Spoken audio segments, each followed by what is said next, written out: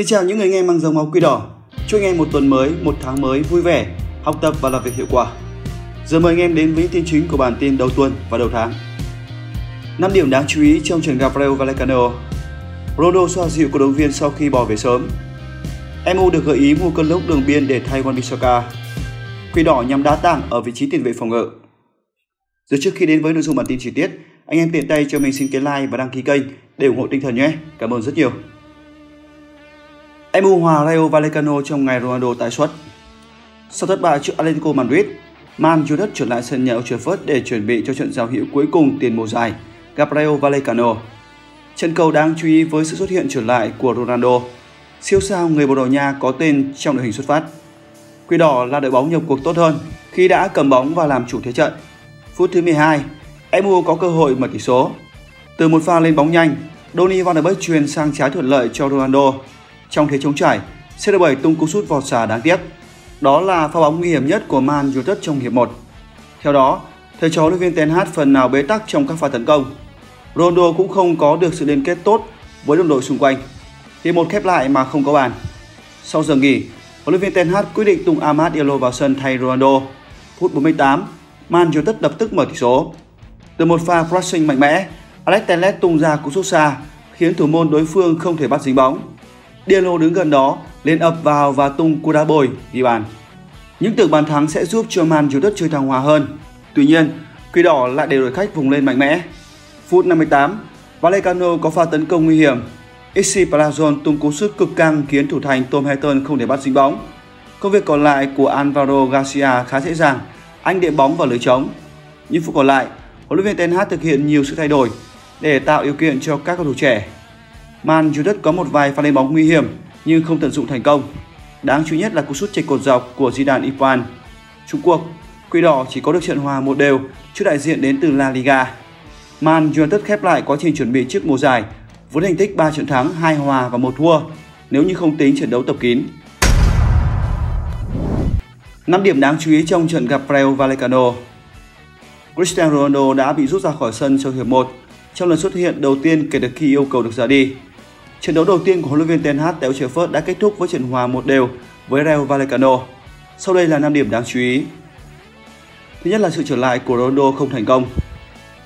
Và chủ nhật, nhà vua sẽ thi đấu. Ronaldo đã hứa như vậy vào tối thứ sáu và anh đã có 45 phút trong trận đấu ngày hôm qua. Nhưng màn thể hiện của CR7 càng khiến cổ động viên tin rằng tốt nhất nhà vua nên ra đi. Ronaldo đã thể hiện khá mờ nhạt trong lần đầu tiên ra sân dưới thời Ten Hag. Cơ hội duy nhất của anh là cú sút điểm từ khoảng cách 15m khi được Donny van der Beek chuyển bóng. Thú vị hơn là phản ứng của những người hâm mộ. Khi các cầu thủ khởi động, Ronaldo đã được chào đón nồng nhiệt và để đáp lại, anh chỉ vỗ tay tán thưởng những người ủng hộ đã đến từ sớm. Nhưng khi trận đấu diễn ra, những tiếng hò reo đã không còn đủ lớn để hát đi tiếng chế nhạo. Julius khẳng định anh ấy không phải để bán, nhưng nếu nhà vua ra đi, có lẽ cổ động viên cũng không còn cảm thấy tiếc nuối. Thứ hai là Eriksen sắc bén hơn. Trong trận đấu với Real Vallecano, bạn có thể thấy Eriksen ngày càng sắc bén hơn. Khả năng cầm bóng và tầm nhìn của anh ấy về phía trước để phát triển lối chơi là rất ấn tượng. Chưa đến thời điểm Eriksen có thể chơi cả trận, nhưng một giờ thi đấu hôm qua, sau khi đã xuất hiện ở Oslo một ngày trước đó, là điểm tốt và hy vọng Eriksen sẽ ra sân từ băng ghế dự bị trong trận gặp Brighton vào cuối tuần này. Thứ ba là câu hỏi về Martinez. Tuyển thủ Argentina sẽ xuất hiện ở vị trí nào trong mùa giải này? Bảo đầu trị giá 55 triệu bảng từ Ajax được đặt ở vị trí trung vệ lệch trái trong sơ đồ 4 hậu vệ và dù chưa bị đối phương khai thác nhưng không thể bỏ qua điểm yếu đáng kể nhất của cầu thủ 24 tuổi, đó là chiều cao không tốt. Khi Premier League khởi tranh thì chắc chắn các đối thủ sẽ tung ra rất nhiều những quả tạt và họ sẽ càng hào hứng hơn khi MU đang có trung vệ thấp nhất giải. Martinez thiếu chiều cao nhưng đã được bù đắp bằng sự bền bỉ, máu lửa và khả năng kỹ thuật. Nhưng liệu Ten Hag có nên để ngay đá tiền vệ phòng ngự hay không khi mà MU hiện cũng đang thiếu vị trí này? Thứ tư là cơ hội hiếm có. Điểm đáng chú ý trên khán đài trận này là có rất nhiều em nhỏ hào hứng cổ vũ. Juventus đã tặng 10.000 vé cho các câu lạc bộ và các trường học cơ sở ở địa phương. Trong bối cảnh cuộc khủng hoảng chi phí sinh hoạt trên diện rộng, giá vé tăng cao khiến nhiều gia đình không thể xem đội bóng địa phương của họ thường xuyên, thì đây là một sáng kiến đáng được khen ngợi. Tuy nhiên, nó cũng đưa ra một vấn đề trong tương lai mà bóng đá Anh sẽ phải đối mặt. Khán giả của Premier League giờ đây ngày càng già đi, các sân vận động hiện chủ yếu dành cho tầng lớp trung lưu với túi tiền rủng rỉnh. Việc thế hệ trẻ ít có cơ hội được vào sân xem đội bóng yêu thích, liệu có khiến tình yêu của họ ngày càng mai một đi hay không? Cuối cùng là sự thay đổi của khu vực kỹ thuật. Có một sự thay đổi có thể nhìn thấy ngay ở Old Trafford trong trận gặp Vallecano. Đó là khu vực kỹ thuật đã được hoán đổi theo yêu cầu của Ten Hag. Từ bây giờ cầu thủ của United sẽ có chỗ ngồi gần đường hầm và khán đài Stratford End hơn.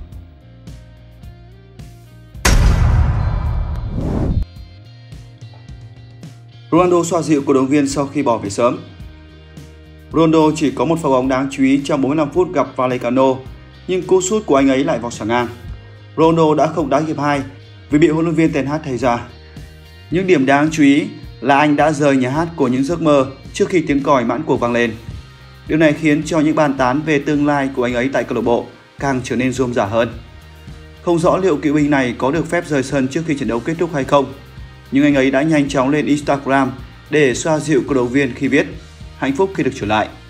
Đây là lần xuất hiện đầu tiên của anh ấy kể từ cuối mùa giải trước, nhưng vẫn còn nhiều nghi ngờ về việc liệu anh ấy có ở lại đội bóng sau kỳ chuyển nhượng mùa hè hay không. Tuy nhiên, có thể dễ dàng hiểu tại sao Ten Hag muốn giữ Ronaldo ở lại. Bất chấp những khó khăn của United trong mùa giải 2021-2022, Ronaldo đã ghi được 18 bàn thắng ở Premier League và 24 bàn trên mọi đấu trường. Dù đã cao tuổi, nhưng MU vẫn tin tưởng vào sự đời. Câu lạc bộ đã không có sự bổ sung đáng chú ý nào cho hàng công cho đến thời điểm này. Vẫn còn thời gian để Ten Hag mang đến một gương mặt mới, nhưng không dễ để mua có thể mua được ai đó trong tình cảnh thiếu sức hút như hiện tại. Ten Hag tin rằng Quỷ Đỏ đã sẵn sàng. Huấn luyện viên của Manchester United, Erik ten Hag hài lòng với màn trình diễn trước Rayo Vallecano, nhưng chấp nhận rằng cần phải cải thiện nhiều hơn nữa trước trận mở màn Premier League với Brighton. Ten Hag đã tận hưởng hương vị đầu tiên với trận đấu đầu tiên trên sân nhà Old Trafford. Tuy nhiên, ông đã nhấn mạnh rằng kết quả sẽ rất quan trọng vào cuối tuần tới và ông tin rằng đội bóng của mình đã sẵn sàng cho thử thách mà Brighton có thể gây ra. Khi được hỏi về chiến dịch trước mùa giải nói chung, người quản lý cho biết ông rất hài lòng với giai đoạn này. Nhìn chung, tôi nghĩ rằng chúng tôi đã có một giai đoạn tiền mùa giải tốt. Chúng tôi tiến bộ rất nhiều. Toàn đội đã sẵn sàng cho mùa giải tới. Tôi biết vẫn còn nhiều chỗ phải cải thiện và đó cũng là một quá trình tiếp tục trong suốt mùa giải này. MU đang có sự pha trộn giữa kinh nghiệm và sức trẻ. Một số cầu thủ trẻ thực sự đã cho bạn những gì bạn có thể mong đợi. Họ có thái độ thực sự tuyệt vời. Họ chiến đấu và làm việc cho nhau. Điều đó thật tích cực. Chúng tôi cũng đã tạo ra rất nhiều cơ hội và cũng đã để lọt lưới vài lần. Nhìn chung, chúng tôi hài lòng với màn trình diễn này. Giờ là lúc toàn đội đã sẵn sàng bước vào một giải mới.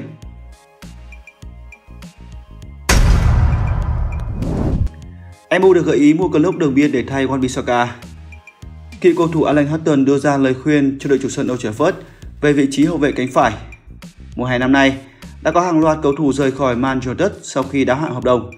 Nhưng trong danh sách đăng ký của đội chủ sân Old Trafford vẫn còn thêm một vài cái tên nữa, điển hình như Aaron Wan-Bissaka, một trong những bản hợp đồng thất bại trong lịch sử của câu lạc bộ.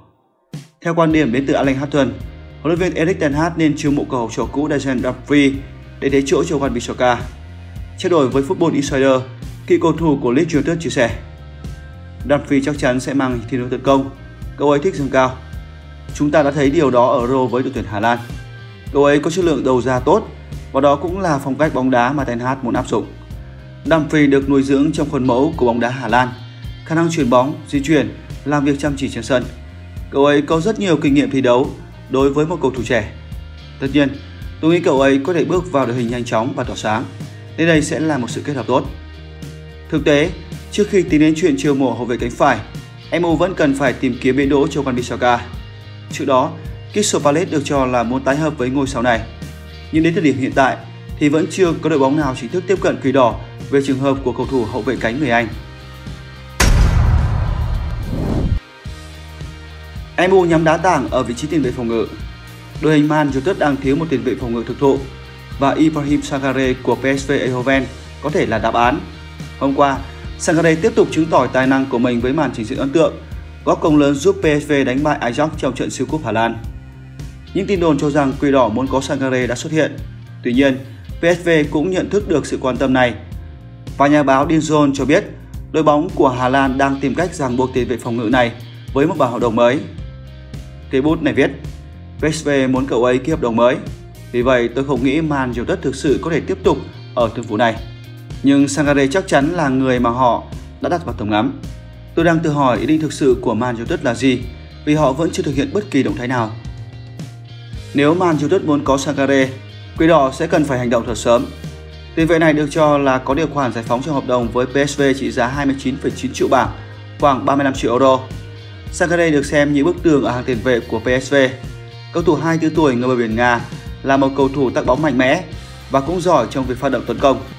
Sangare còn là cầu thủ mà Ten Hag biết rất rõ từ thời còn dẫn dắt Ajax.